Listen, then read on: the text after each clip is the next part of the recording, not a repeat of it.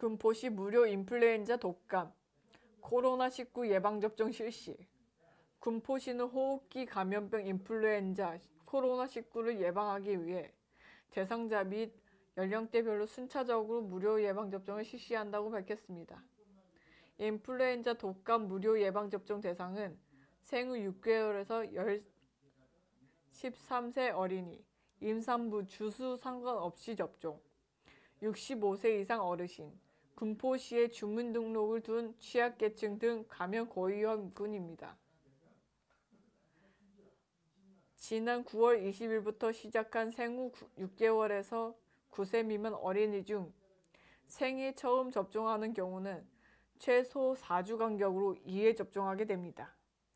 1회 접종 대상 어린이와 임산부는 10월 2일부터 접종이 시작됩니다. 65세 이상 어르신은 안전한 접종을 위해 연령대별로 나누어 75세 이상은 10월 11일부터 70, 70세에서 74세는 10월 15일부터 65세에서 69세는 10월 18일부터 순차적으로 시작하며 25년 4월 30일까지 접종을 마쳐야 합니다. 아울러 군포시에 주민등록을 둔 50세에서 64세 기초생활수급자, 14세에서 64세 심한 장애인을 대상으로 하는 무료 접종도 10월 18일부터 실시할 예정입니다. 면역 저하자 및 감염 취약 시설 입원 및 입소자의 코로나19 접종은 10월 11일부터 시작되며 65세 이상 어르신의 코로나19 접종 기간은 인플루엔자 독감 접종 기간과 동일합니다.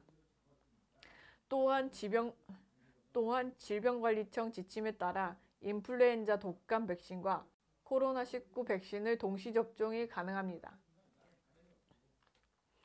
어르신, 임산부, 어린이 인플루엔자 독감 예방접종과 어르신 6개월에서 64세 면역 저하자의 코로나19 접종은 주소지와 관계없이 전국 위탁 관계없이 전국 위탁 의료기관에서 접종받을 수 있습니다. 방문 시 신분증과 임신 확인 서류 등을 지참하면 됩니다.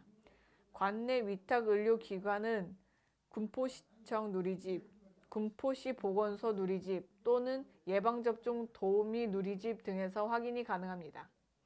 군포시 취약계층 인플루엔자 독감의 경우 관내 지정 위탁 의료기관 60개소에서만 접종이 가능하며 신분증 및 수급자 증명서 또는 장애인 등록증 등 대상자임을 증명할 수 있는 서류를 지참하여야 합니다. 관내 지정 위탁 의료기관은 군포시청 누리집, 군포시 보건소 누리집에서 확인 가능합니다.